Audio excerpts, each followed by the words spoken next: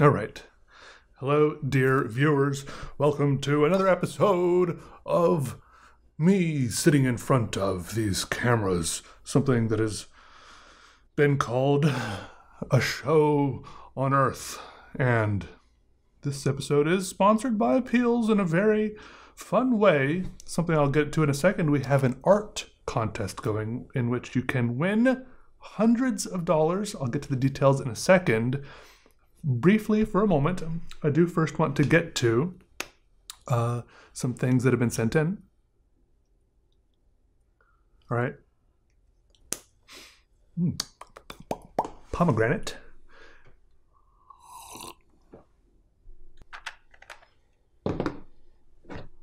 Have them set the right way one little frame that says Peter, one little frame that says draws.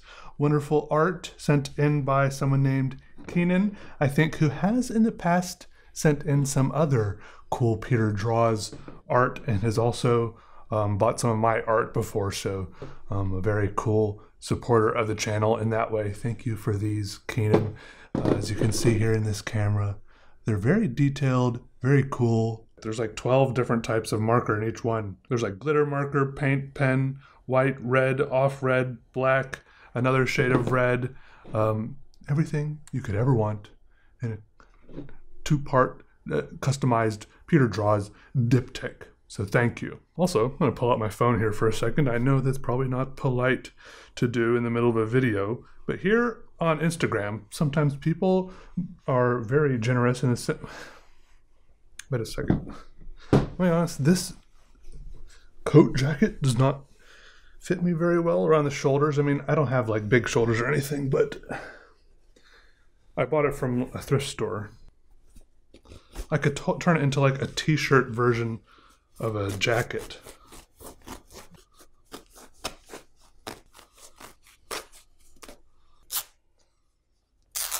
There we go.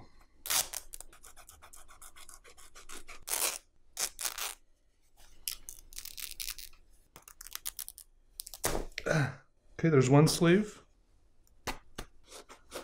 They call me Problem Solver Pete.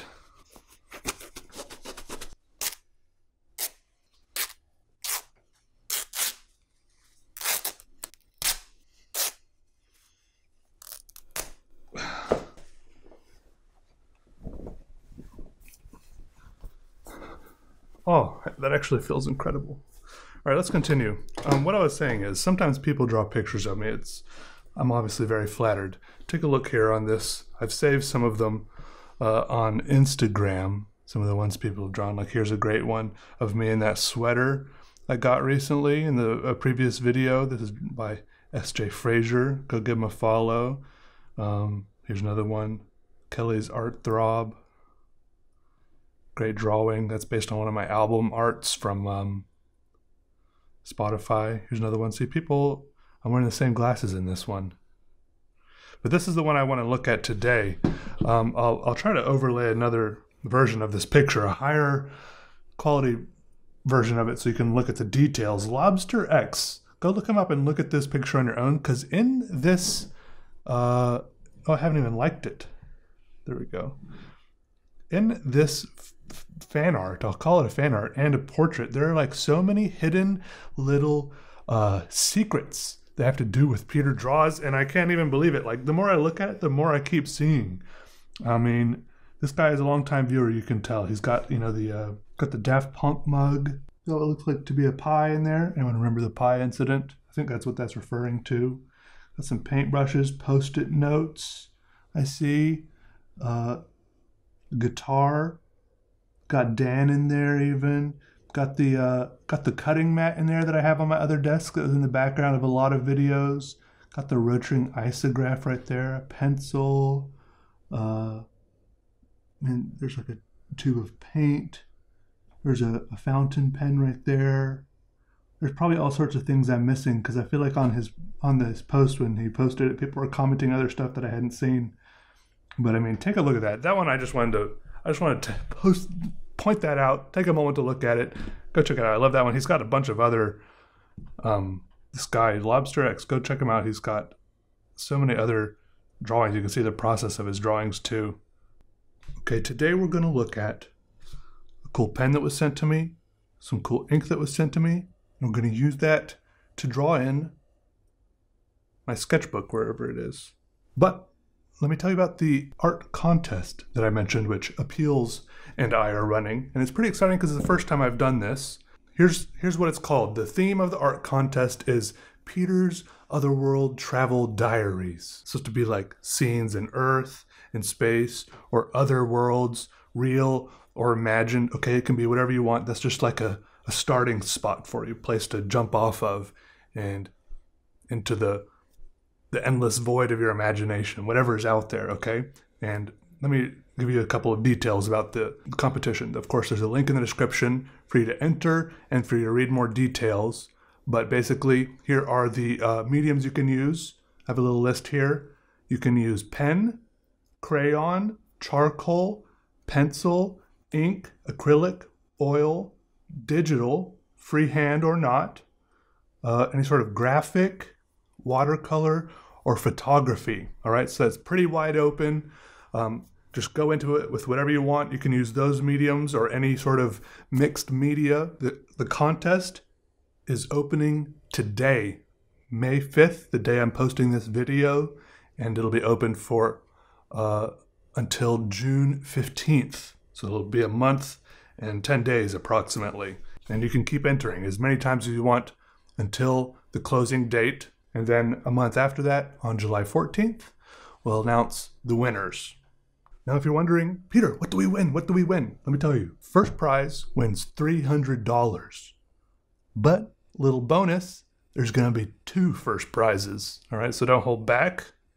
Plus, first prize, you get a free phone Apealz sticker of your choice and invitation to be a Apealz creator. Second place gets 150 bucks and also a free phone Apealz with your winning design and invitation to be a Apealz creator. And then there's going to be three runner-ups, I guess kind of tied for third place. They all get 50 bucks, their winning design on a phone appeal of their choice, and of course, invitation to become an Apealz creator. Plus, five participating artists in the competition will be randomly chosen to have their designs on phone Apealz of their choosing. And out of everyone, 10 or more qualifying artists will be selected to join the creator program. So go submit your art, go make some stuff. You could win 300 bucks. If you have any questions, of course, put them in the uh, comments, and I'll be I'll be addressing this competition um, on and off as the competition progresses. If you need some ideas to maybe help jumpstart you on what to do for the theme, Peter's Otherworld Travel Diaries um, could be like an imaginary scene of a alien filling up his spaceship at a gas station or or you know just something on earth like some how you imagine a, a, a desert oasis to be with or without people and animals okay? It's up to you. Or it could just be some big zoomed out view beautiful colors swirling together stars galaxies the cosmos all swished together okay? We're not trying to nail you down to one thing once again, it's just supposed to be like a idea to get you started. All right, so go click the link in the description, enter the contest, and remember, as always, you can just go ahead and um, apply to join the creator program on your own, try to monetize your art that way, or just upload your own designs and order your own designs on Apealz that way. Okay, let's look at the ink we're going to be using today. Boom, boom, boom, boom, boom, boom, boom, boom,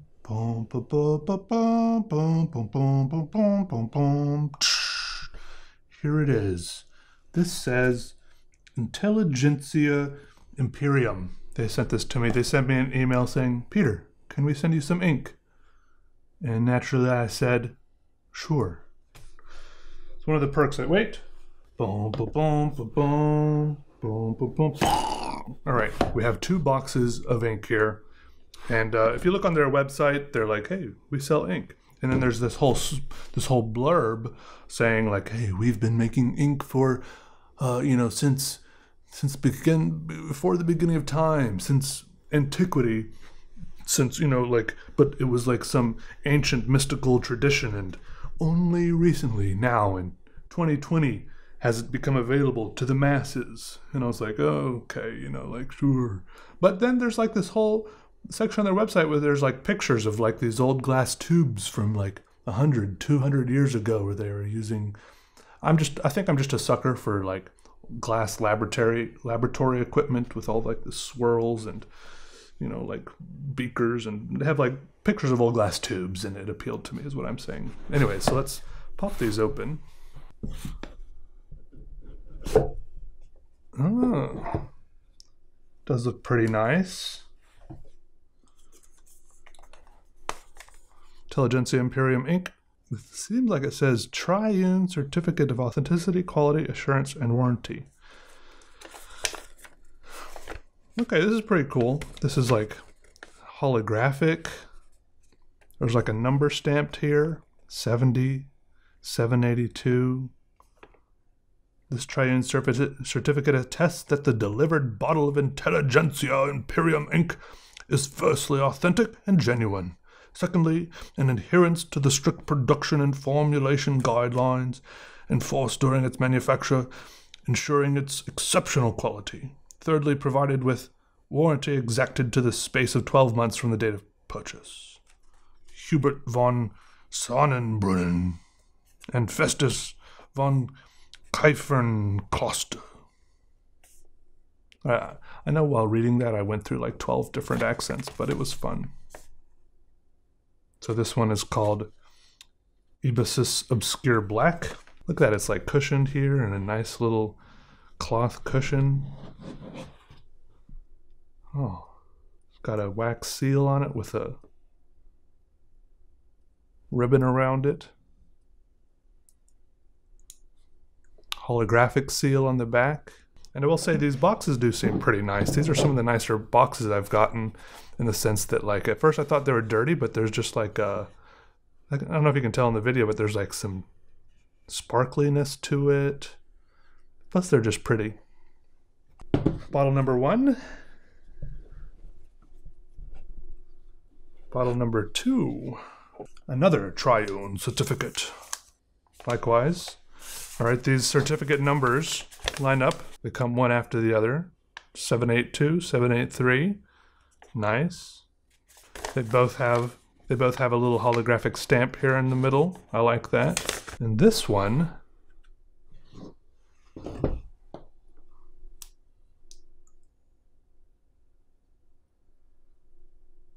is called Eric's Veiled Black.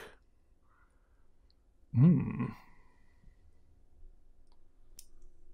These are pretty nice bottles. I like them. They're nice and sturdy. All right, here's a sketchbook we're going to try it out in. Of course, you can see I've tried out lots of uh, other inks here in this sketchbook. So I know that a lot of inks do work good in this. You know, they don't bleed through and stuff like that. This is a well-tested sketchbook. Um, drawn a lot of stuff in here. It's about half full right now. This is where we'll test it, but first, of course, we need a pen. This pen was sent to me by Bittner.com. I think if you go to Bittner.com, it says Bittner.com. And then the, their tagline is something like, The pleasure of writing. They sell pens. Two pens. A note. This is probably ink. I think this is just packing peanuts now says Peter. Nice handwriting.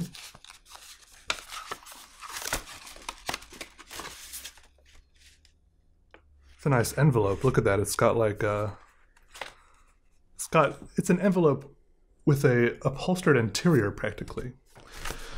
Hi, Peter. Enclosed in this package is two Otto Hutt pens. One is a fine and the other is an extra fine. I also sent a bottle of a Bittner exclusive Noodler's Caramel by the Sea ink. It's yours to keep. Once you're done with the pens, please ship please ship them with the label I provided. Enjoy. Oh, I have to give them back.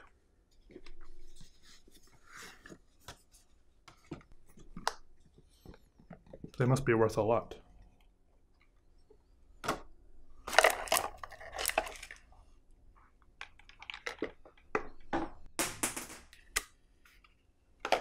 The worst part about sending having to send these pens back is not that I won't have them anymore. It's just that I'll have to repackage everything. I know, I seem like a little baby. I'm only gonna I'm only gonna unbox one of them if I have to send them. if that's the case, at least I get to keep the ink. I know. I feel. I suddenly feel so spoiled. You know, like oh, shocked at the idea that I'd have to send back a pen. I mean, I've sent back pens before, but uh, you know, they were like one or two thousand dollar pens. Oh, all right. This looks like a nice rich blue, caramel by the sea.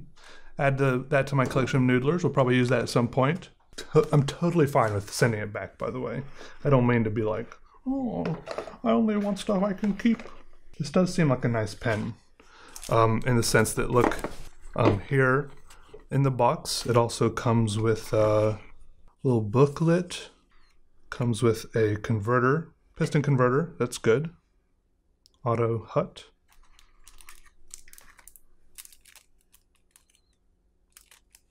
This is a cleaning cloth like you would get with a camera lens or a pair of glasses, I guess. Not sure what you do with that. Personal Otto Hutt writing instrument. Unique serial number engraved. I'm guessing I shouldn't uh, register it.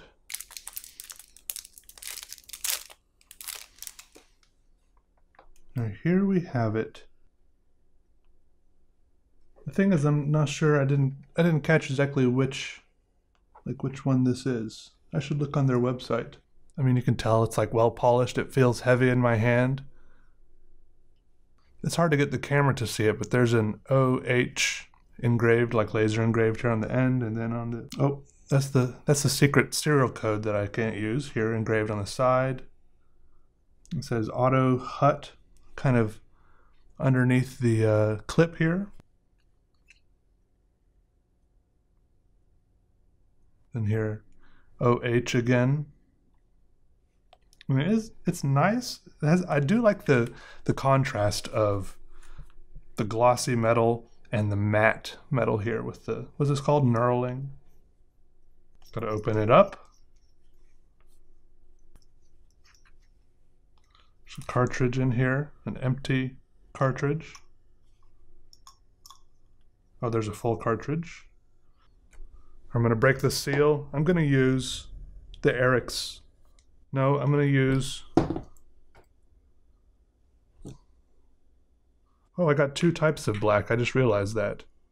This one seems to have a purplish hue to it, though, even though it's called black. I'm going to use this one, the purple black.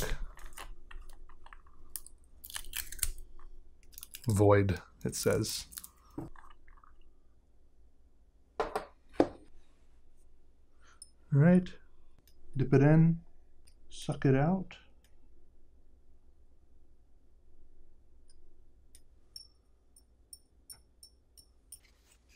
Clean it up.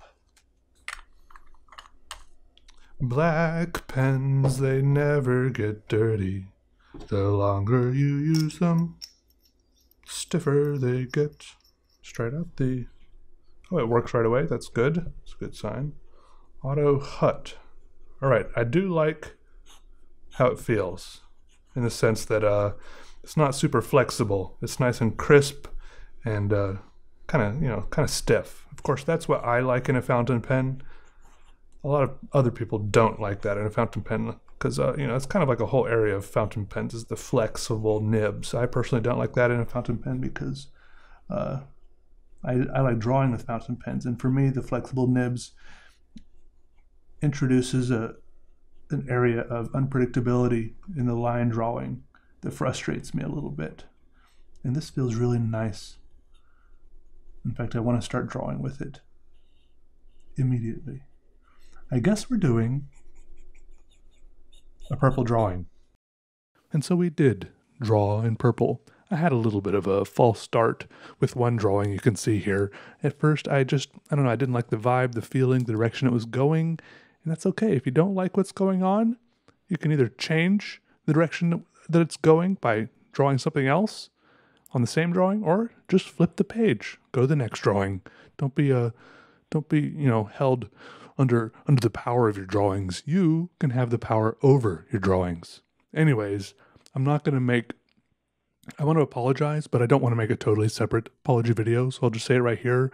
I I want to apologize for the little like pouty face I made when I read that little card and I was like, "Oh, I don't get to keep the pen. You know, I don't want to be that spoiled uh, little bratty YouTuber who's like, oh, I don't get to keep the pen. The, the kid who opens the birthday card from grandma and says, What? No money? Anyways, uh, this is a very cool pen. However, I will say my impression of it was initially dampened unfairly in a totally different way. I don't know if some of you noticed or recognized the design uh, but I have actually showed a pen very similar to this one previously on on this channel, and it was um kind of a, a controversial video in the sense that um, I don't know I was feeling rascal rapscallious, um, and um, I I reviewed another pen. Um, it, it was like a combination pen review mukbang video in which I tried to review a pen while very messily, intentionally messily eating chicken wings and getting chicken wing sauce and ranch dressing all over the pens and all over the drawing at the same time. I was just seeing if I could bother people or if people would put up with it, I guess. I don't know what I was doing, but you know, things life is weird and anyways, that pen I reviewed is called if you if you pretty much if you go to Amazon and you type in fountain pen, it's it's pretty there's a pretty good chance, at least back then, probably even still now, pretty good chance that this other fountain pen is one of the first ones that will pop up. And I could never figure out why. That's why I ordered it b- back in the day. This other one, it's called Matt. It has the longest name. It's called Matt Black Forest Fountain Pen Extra Fine Nib Classic Design with Converter and Metal Pen Box Set by Hongdian. And I don't even know why it's called a set because it's just a pen in a box anyways, but it's one of those things where you can tell they're like loading the title with um, but um, keywords or buzzwords or the you know whatever to make the search ranking go up. Something about this pen really did hit perfectly in the Amazon search rankings because it has like ten thousand reviews, and uh, there's tons of reviews of it on on YouTube, and I think that's maybe what I was trying. I was a little bit annoyed at, so I made that dumb video. Um, anyways, I'm I'm I'm annoyed at that pen because I don't know. It's just by some random company, you know. And anyways, the point is they I I, I have very more lax feelings on the idea of idea uh, um, designs being ripped off than a lot of people in a sense that I think that if one person does something everyone else is more than welcome to try to take that idea run with it and try to do it better otherwise there would be no progress and improvement in the world right if someone made a a, a car that you started with a crank and then someone went and made a car that you start with an ignition, the person who made a car starting with a crank wouldn't be like, "Hey, you stole my idea for a car." That no, they took it and ran with it and made it better, right? So I mean, there has to be all all of creativity and design. You know, there's even that famous book called "Art Is Theft," right? Everything builds on top of everything else but I think there is some room for nuance there in that idea. And we can just look and see sometimes and know that one de- sometimes designs clearly are copies of other designs, a little bit too heavily influenced perhaps. And I think that's the the the case here. So the, the pen I'm reviewing today is from Otto Hutt. Um, on the Bittner website, it is the Otto Hutt Design 4. Uh, Otto Hutt, they just number their designs. Okay, it's like a very, it's like a very German, you know, I don't, the, the German, German design and uh, manufacturing and engineering has all their, their, uh, you know, their stereotypes, uh, and this kind of fits into it because they just numbered their designs one through seven or eight. Design one, design two, design three, and then there's some variations inside those designs. And this one I have here is Design 4 Black Matte Guilloche.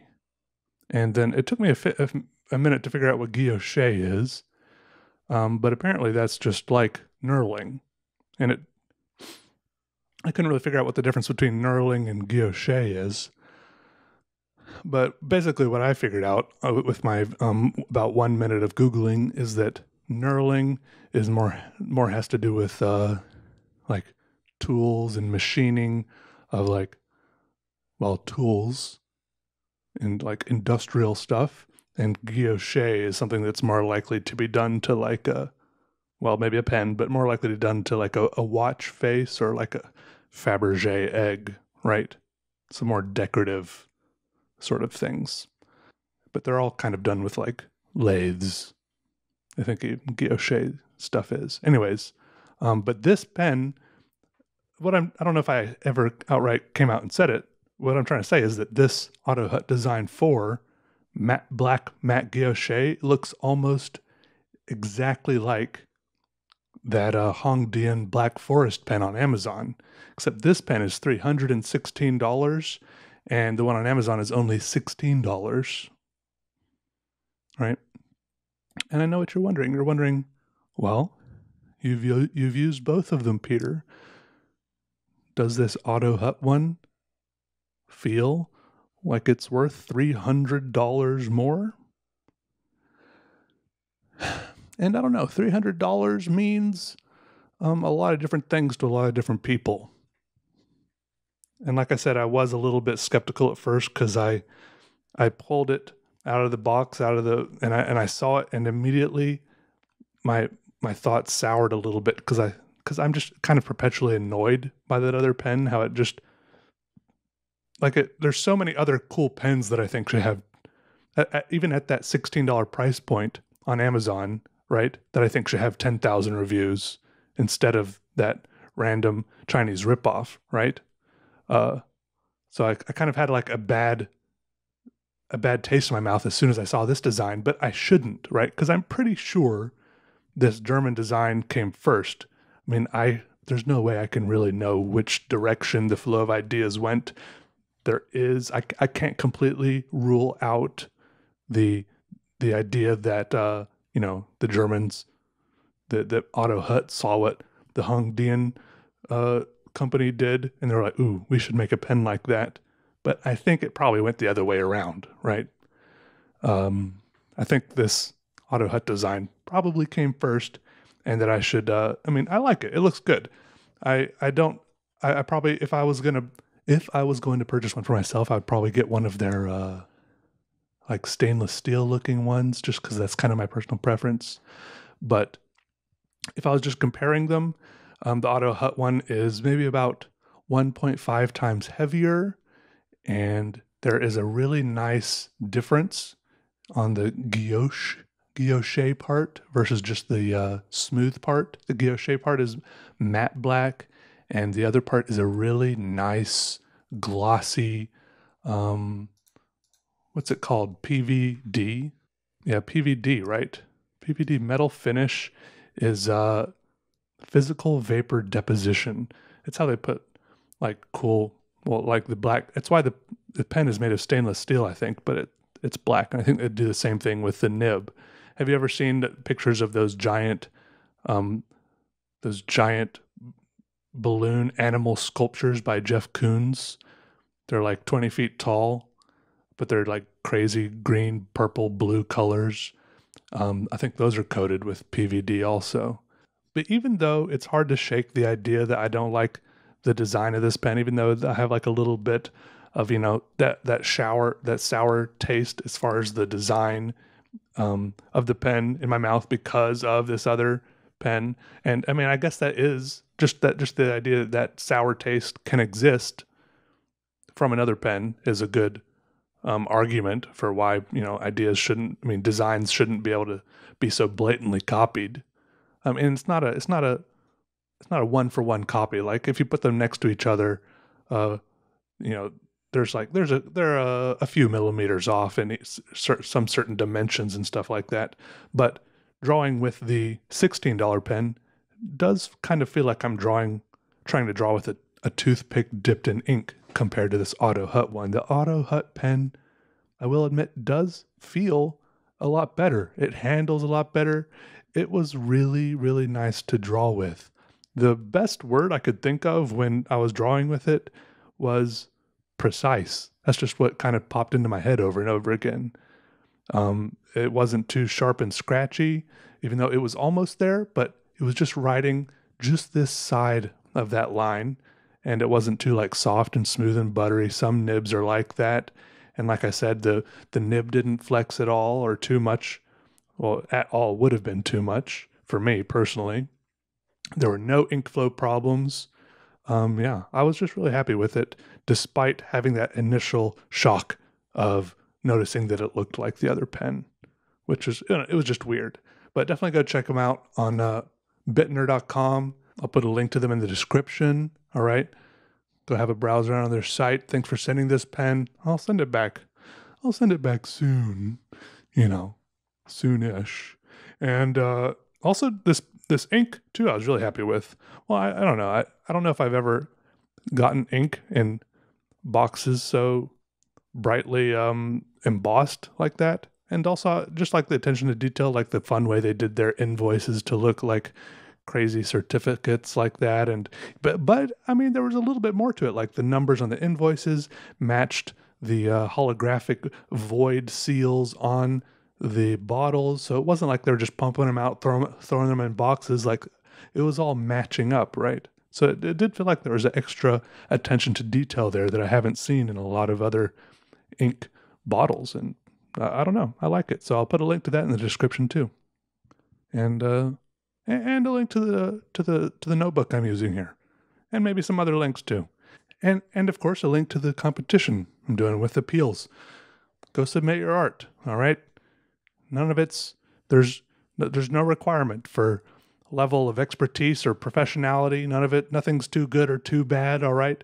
There's there's no cost to submit, so there's no reason not to get in there, win that 300 bucks, see what you can do. All right. Everyone's welcome. All right. All right. Thanks for thanks for watching, everyone. I'm going to bed. By that I'm I mean I'm going to go lie in bed and and uh, and watch Shark Tank. Look, I've been watch I've been recording a little bit of a, a vlog later later, so you should um, maybe you'll see. You'll get it later, okay? You'll be you'll see the behind the scenes. All right, bye.